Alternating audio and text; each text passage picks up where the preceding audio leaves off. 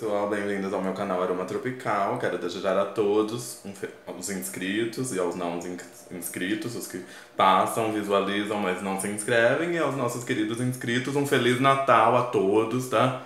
Um Natal aí abençoado a todos, cheio de saúde, cheio de paz, tá?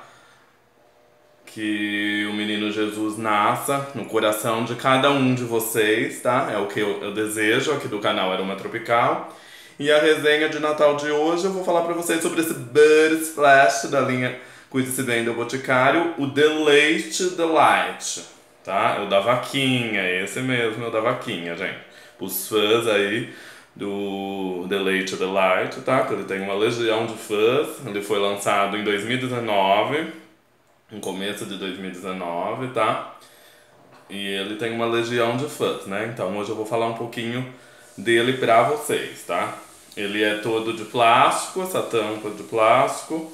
Aqui tem umas, umas vaquinhas, ó, como vocês podem perceber. Ele é todo de plástico, borrifador dourado, semelhante aos outros Bud Splash dessa linha Cuide-se Bem do Boticário, tá? E agora eu vou falar um pouquinho pra vocês deles, sobre o que fala dele no site Fragrântica, que é o site que o, site, que o meu canal Aroma Tropical segue pra dar dica dos todos os perfumes pra vocês. Ele é um oriental compartilhável. Quando fala que ele é compartilhável, quer dizer que tanto homem como mulher pode usar, viu gente? Não tem, não é só pra mulher, não é só pra homem. Então ele é compartilhável pra ambos os sexos, tá? E ele foi eh, lançado no início de 2019.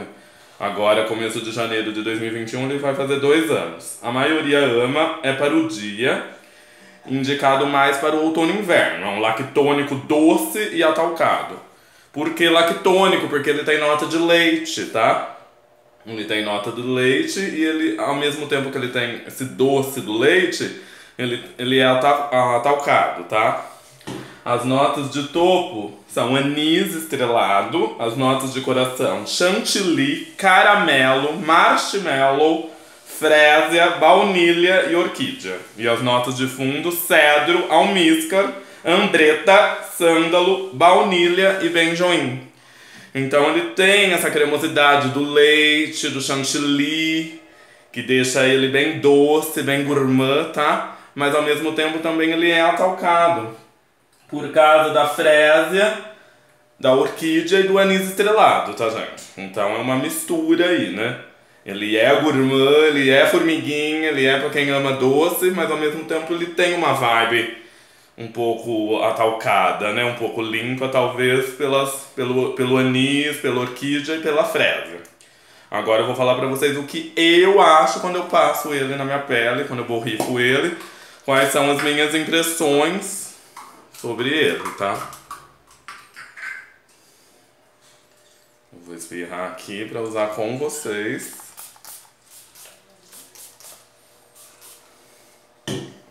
Ver o que eu vou falar pra vocês sobre ele, tá?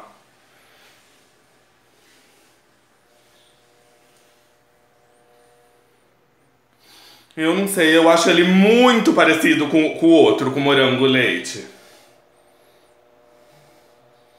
Nossa, não sinto nada atalcado. Fala que ele é atalcado no site Fragântica, né? Mas não sei da onde que eles tiraram que ele tem esse atalcado, porque eu não sinto atalcado nenhum na minha pele. Eu não sinto fresa, eu não sinto a orquídea, eu não sinto o anis estrelado. Eu não sinto nenhuma nota de flor, tá? Todas essas notas florais que falaram que ele tem, na mistura, na hora que foi feito ele, pra minha pele eu não sinto nenhuma flor. Eu sinto uma coisa bem doce mesmo. Eu sinto bem o leite, bem o caramelo e eu acho ele muito parecido com morango e leite, viu gente? Eu acho que quem tem o de leite não precisa ter o morango e leite. Eles são bem semelhantes, tá? Os dois pra mim têm cheiro de danoninho, tanto o de leite, de light, como o morango e leite, os dois têm cheiro de danoninho. Lembra quando eu fiz a resenha do morango e leite? Eu falei que ele parecia uma sobremesa, parecia um, ah, quando a gente tá comendo, comendo morangos com leite moça? Então, é mais ou menos a mesma coisa. E ao mesmo tempo também, tanto nesse de leite como no morango e leite, eu sinto cheiro de boneca nova. Boneca que saiu da caixa. Boneca nova que a, pessoa acabou de comprar. Ele é muito parecido com o morango leite, tá? Agora já, como eu tenho os dois, agora eu começo a perceber Você vê, quando a, quando a gente começa a colecionar perfumes, quando a gente começa a entender mais da perfumaria, desde que eu virei revendedor, eu comecei a gostar né, desse mundo, comecei a entender mais. Então, cada vez o meu olfato fica mais apurado e eu já posso detectar o que é um, o que é outro, o que é parecido com um, o que é parecido com outro. Antes eu não sabia nada disso, né, gente? Agora eu já sei. É experiência, né?